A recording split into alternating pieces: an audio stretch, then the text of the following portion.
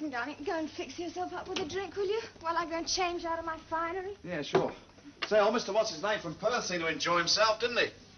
Particularly when he won on the second race. Bev, what is it? Oh, my God.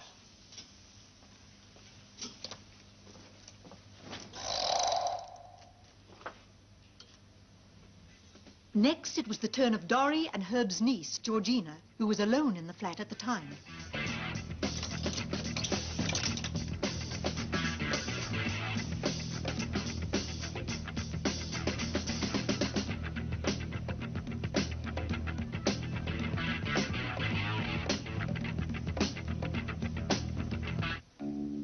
Of course, every man in the building was suspect.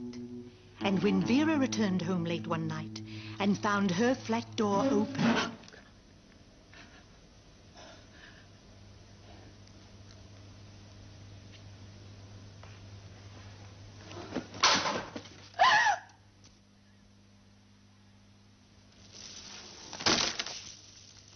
Hello, Vera.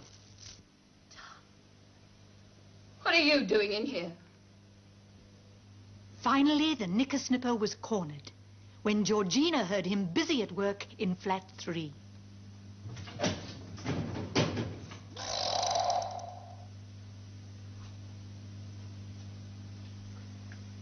Hello, hello. Here's our gas little friend. Oh, Mr. Sellars, Jack, he's in there. He's in my room. Oh, calm down. Who is that? Who? Prowl, he's in my room now.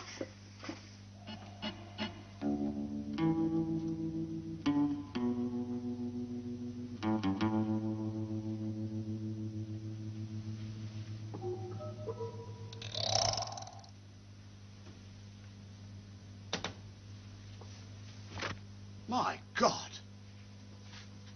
You. And that was the end of the episode.